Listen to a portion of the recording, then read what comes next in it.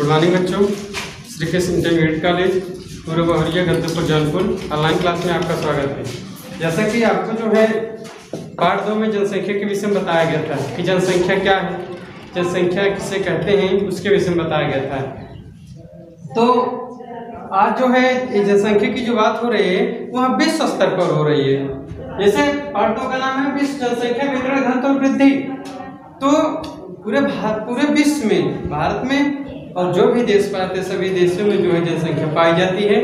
तो जनसंख्या के विषय में जो है आज चर्चा करेंगे आगे कि इसमें जो है जनसंख्या घनत्व किसे कहते हैं?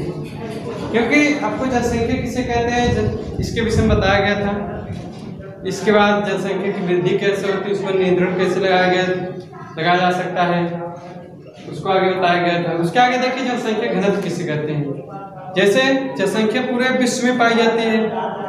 तो जनसंख्या घनत्व किसे कहते हैं? किसी देश, प्रदेश, क्षेत्र के अंतर्गत भूमि का आकार तथा उसमें रहने वाले लोगों की संख्या के बीच के अनुपात को जनसंख्या घनत्व कहा जाता है। जनसंख्या घनत्व उसे कहा जाता है, जैसे किसी क्षेत्र में, किसी प्रदेश में, किसी देश में जो है जनसंख्या कितनी निवास करती है, उसे जो है जनसंख्या घनत्व कहा जाता है। जैसे अगर विश्व स्तर की बात करें तो विश्व स्तर पर जो भी जनसंख्या है तो उसमें विश्व स्तर पर अलग निकाला जाता है। अगर भारत देश के स्तर की बात करें, भारत की बात करें तो भारत का अलग जनसंख्या होगा। और राज्य की बात करें तो राज्यों का जनसंख्या घनत्व जो है अलग होगा। क्षेत्र की बात करें, क्षेत्रों का जनसंख्या घनत्व अलग होगा। तो हर एक देशों या राज्यों का जो है जनसंख्या घनत्व जो होता है, वह अलग अलग होता है। वही क्या है? जनसंख्या घनत्व है। आगे देखिए, जनसंख्या घनत्व की गणना भूमि के इकाई क्षेत्रफल से कुल जनसंख्या को भाग देकर की जाती है। जनसंख्या घनत्व कैसे निकल आता है? जैसे आप लोग जो है मैथ में फार्मूले का प्रयोग करते हैं, इसमें भी फार्मूला ही लगेगा। और मैथ में हम आप लोग इसे भाग, इसके बाद पूरा जोड़ घटाना, ये सब करते हैं। उसी प्रकार जो है, इसमें भी जनसंख्या घनत्व निकालने के लिए सभी करना पड़ेगा, भाग करना पड़ेगा। आगे देखिए, इसमें जनसंख्या घनत्व जो है, उस क्षेत्र में कितनी जनसंख्या निवास कर रही है? जनसंख्या और क्षेत्र की। दोनों की गणना करने के बाद जो है जनसंख्या क्षेत्र से भाग की जाती है। इसे इसमें लिखा है, जनसंख्या घनत्व की गणना घूम के इकाई क्षेत्रफल से कुल जनसंख्या को भाग देकर की जाती है। जैसे जनसंख्या घनत्व के क्षेत्र में कितनी जनसंख्या निवास निवास कर रही है, उसकी गणना करेंगे। क्षेत्रफल देखेंगे तब उन दोनों में भाग करके जो है, जो भाग करने के बाद आता है वही जनसंख्या घनत्व कहलाता है। सूत्र इसका क्या है? सूत्र है जनसंख्या घनत्व बराबर। कुल जनसंख्या, जैसे भारत की बात करें भारत में, राज्य की बात करें राज्य में, देश की बात करें देश में, वहाँ पर कितनी जनसंख्या निवास कर रही है, उसको कुल जनसंख्या बटा कुल क्षेत्रफल। कुल जनसंख्या होगी। इसके बाद कुल क्षेत्रफल होगा। दोनों में भाग करके जो है, जनसंख्या घनत्व निकाला जाता है। आगे आपको कुछ सवाल देंगे। सवाल के माध्यम से आगे आपको बताएँगे। नहीं तो क्या जो है आगे बताया जाएगा? तो ये जनसंख्या घनत्व किसे कहते हैं? आगे देखिए, जनसंख्या घनत्व का वैश्विक वितरण। वैश्विक क्या है? विश्व स्तर पर। वैश्विक या विश्व स्तर पर। क्योंकि आपको बताए हैं कि जनसंख्या पूरे विश्व स्तर पर पाई जाती है। ऐसी बात नहीं, कुछ कुछ क्षेत्र ऐसे हैं जहाँ पर जनसंख्या पाई जाती है, लेकिन बहुत कम मात्रा पाई जाती है, लेकिन बहुत कम मात्रा में।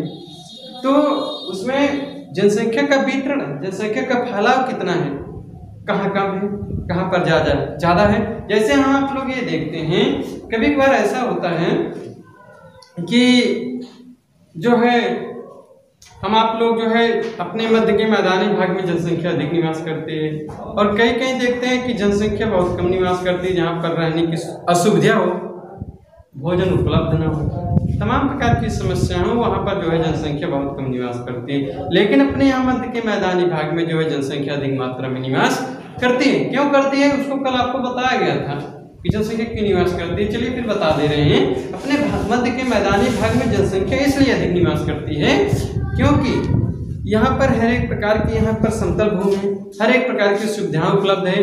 हमें आप लोगों को जो है खाने पीने की किसी भी प्रकार की समस्या नहीं होती। इसीलिए जो है यहाँ पर मध्य के मैदानी भाग में जो है जनसंख्या अधिक निवास करती है, जहाँ पर हम आप लोग रहते हैं। तो विश्व स्तर पर जो है जनसंख्या का फैलाव कहाँ है? ज़्यादा है, कहाँ कम है? उसको तीन भागों में बांटा गया पहला भाग देखिए, नंबर एक, उच्च जनसंख्या घनत्व। उच्च जनसंख्या घनत्व वाले क्षेत्र कौन कौन से? इस क्षेत्र में संयुक्त राज्य अमेरिका उत्तर पूर्वी भाग, यूरोप का उत्तर पश्चिम तथा एशिया का पूर्वी भाग, यहाँ दो सौ से भी अधिक ये दो सौ से भी अधिक प्रति वर्ग किलोमीटर निवास करते हैं। जैसे जहाँ पर कहाँ पर जनसंख्या सबसे अधिक रहती है। हम आप लोग अभी देखिए, यहाँ पर संयुक्त राज्य अमेरिका में इसके बाद उत्तर पूर्वी भाग संयुक्त राज्य अमेरिका के उत्तर पूर्वी भाग में।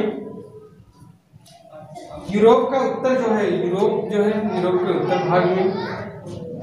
इसके बाद एशिया का पूर्वी भाग, एशिया का पूर्व इधर है जिधर चीन है, एशिया का पूर्वी भाग। हम आप लोग एक चीज़ जान रहे हैं कि जन आज भारत पूरे विश्व की बात करें तो चीन में जनसंख्या सबसे अधिक है। तो एशिया कौन सा भाग है? एशिया का पूर्वी भाग है। इसीलिए इसमें सघन क्षेत्र वाले जनसंख्या जो है, जहाँ पर जनसंख्या अधिक पाई जाती है, ये जो है आपका चीन है। तो चीन जो है एशिया के पूर्व में बसा हुआ है।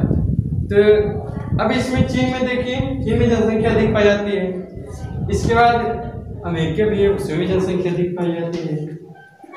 और यहाँ पर प्रति वर्ग किलोमीटर कितने लोग निवास करते हैं? यहाँ पर जो है 200 से अधिक प्रति वर्ग किलोमीटर जनसंख्या निवास करते हैं। आपको आगे बताएँगे, जनसंख्या जो है जनसंख्या घनत्व आज आपको बताएँ। इसके बाद बताएँगे आगे लिंग अनुपात पार्ट तीन में होगा या चार में होगा लिंग अनुपात बताएँगे तो उसमें बताएँगे आगे? प्रति वर्ग किलोमीटर क्या? आप इतना जानिए कि ये उच्च वर्ग वाले क्षेत्रों में जो है, जहाँ पर अधिक जनसंख्या निवास करती है, लगभग 200 से अधिक जनसंख्या प्रति वर्ग किलोमीटर निवास करती है। अब दूसरा जो है, मध्य, उससे थोड़ा कम। मध्यम जनसंख्या घनत्व वाले क्षेत्र जो है, कहाँ पर थोड़ा कम जनसंख्या निवास करती है।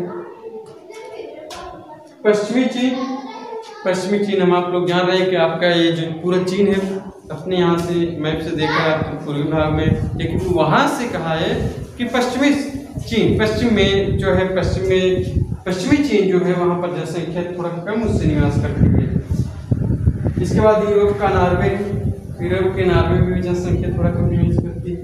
अफ्रीका का सूडान है, इन सभी क्षेत्रों में जो है, इन सभी देशों में जनसंख्या थोड़ा उच्च वर्ग वाले से थोड़ा जो है इससे कम जनसंख्या निवास करती है। अब तीसरा देखिए तीसरा जो है विरल जनसंख्या घनत्व वाले क्षेत्र। यहाँ पर जिन क्षेत्रों में जो है, एक प्रति, एक व्यक्ति प्रति वर्ग किलोमीटर से भी कम लोग रहते हैं। उसे क्या कहते हैं? विरल जनसंख्या। जहाँ पर बहुत कम जनसंख्या निवास करती है, उसे जो है विरल जनसंख्या घनत्व कहा जाता है। बस यही आपका पाठ दो समाप्त है। आगे आपको बताएँगे पार्थिन के विषय में। पार्थिन के विषय में जो होगा, उसके विषय में बताएँगे।